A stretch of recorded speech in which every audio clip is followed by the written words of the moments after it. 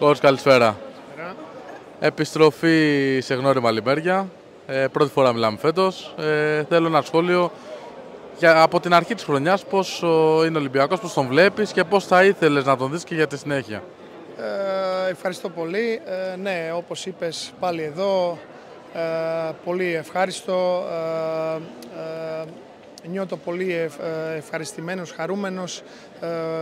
Ρόστερ είναι πάρα πολύ καλό, έχουμε μεγάλο ρόστερ.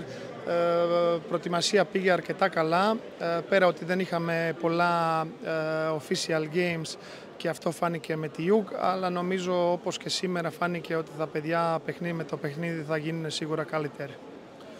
Ε, σήμερα πώς είδες ε, την ομάδα σου μέσα στην πισίνα με τον Παναθηναϊκό, είδαμε για μια μεγάλη διαφορά, 19-4 ε, και για τον κόσμο που σίγουρα θέλει να μάθει και για την ιστορία, ο Ολυμπιακός έκανε το 51-0 ε, κόντρα στον Παναθηναϊκό σήμερα, ε, μέσα σε 22,5 χρόνια. Ένα σχόλιο άμα μπορείς γι' αυτό. Ε, μεγάλο σκορ, ε, σίγουρα μεγάλη διαφορά στο άθλημα πόλο είναι με, μεταξύ αυτές τις δύο ομάδες. Ε, πολύ καλύτερος Ολυμπιακός. Ε, πολλά χρόνια όπως είπες να κερδίσει ένα μάτσο ο Πανηναϊκός αλλά αυτή είναι διαφορά και νομίζω θα μείνει κάποια χρόνια ακόμα. Ε, τώρα ο Ολυμπιακός έχει βάλει το πύχη ψηλά ε, για το Champions League. Ε, είδαμε τη Γιούγκο ότι έκανε μια τεράστια ανατροπή, κέρδισε στα πέναλτι. Θέλω να μου πεις λίγο, επειδή πέρυσι ο Ολυμπιακός πήγε στο Βελιγράδι, αλλά στάθηκε άτυχος. Ε, φέτος τι θες να πεις, τι, τι περιμένεις εσύ από τον Ολυμπιακό; Περιμένω, περιμένω όπως και όλοι, ε, περιμένω να κάνουμε ένα βήμα παραπάνω.